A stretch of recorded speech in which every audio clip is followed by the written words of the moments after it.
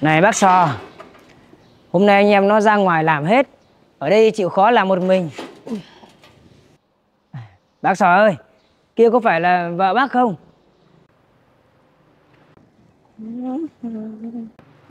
Đúng rồi. Đấy là vợ tôi. Chồng thì làm việc nhem nhuốc vất vả. Vợ cứ bóng nhảy ra.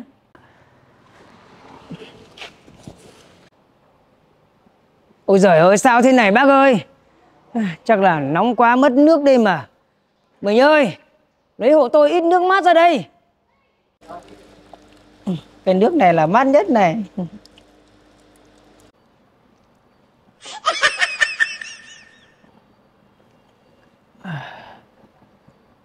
Tỉnh hẳn Bác sò chịu khó mà bồi bổ cơ thể đi Dạo này nhìn hốc hác quá đấy Ôi. Tiền đâu mà bồi bổ hả cô?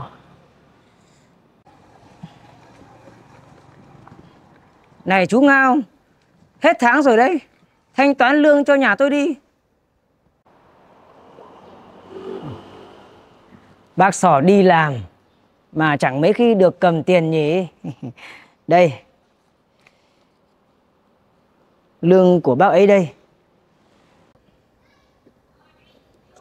Tiền của chồng tôi cũng là tiền của tôi. Việc của chú đâu mà lắm mồm thế.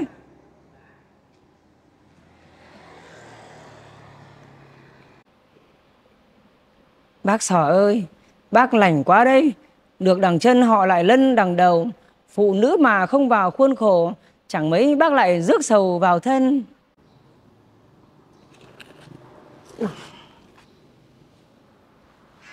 Tính nhà tôi trẻ con, vẫn còn ham chơi, nói ra lại sợ mất lòng.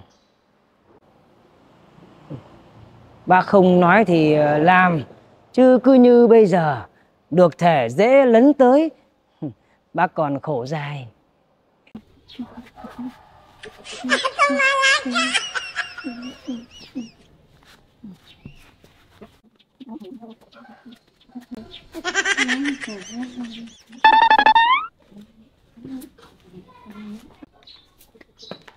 Nhìn như là cái con sâu đó ngứa cả mắt ra. Làm thì không bằng ai, đú đởn đỏng đảnh thì không ai bằng. Đi vo gạo nấu cơm đi.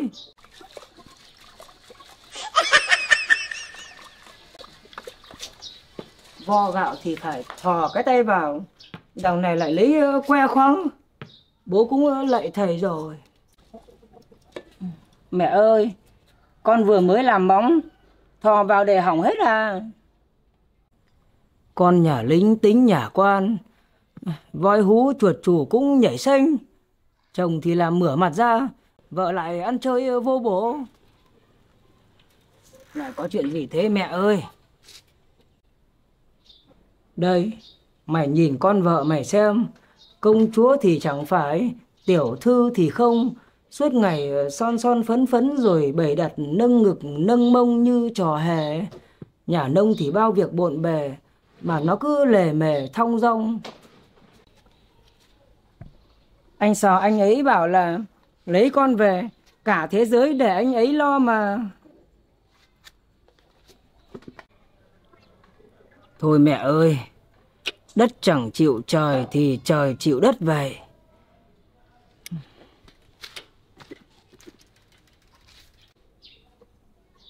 Ờ, mày cứ chịu thần lực vào, rồi lại phải đựng những cái buồn, cái phiền trong lòng.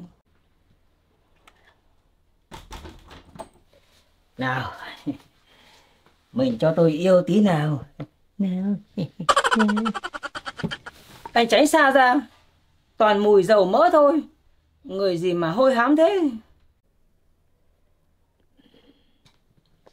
Làm mửa mặt ngoài xưởng chứ có được ngồi điều hòa đâu mà thơm được. Anh tránh xa ra người hôi như là tổ cú ấy. Đây đưa tiền cho nó tiêu cho nó làm đẹp. Giờ nó lại chê hôi như tổ cú sướng chưa? Hai đứa ra ăn cơm đi.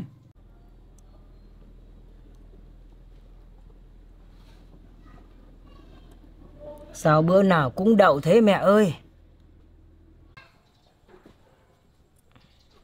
Đây, hỏi cô vợ thân yêu của con đi. Có bao nhiêu tiền nướng vào phấn vào son, quần áo váy vóc hết rồi. May mà mẹ còn mấy đồng lương hưu, chứ không thì ăn cơm muối trắng.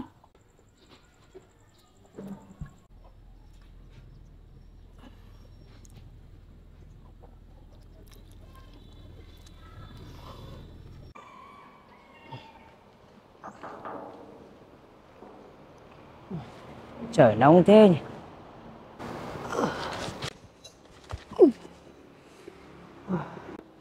Sao thế bác?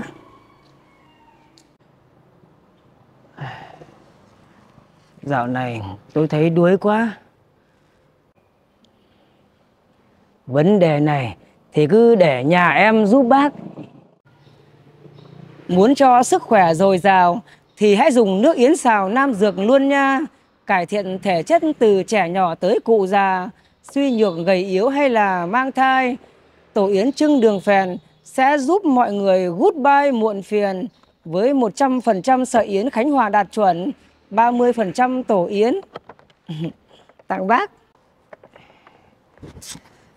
Tôi xin.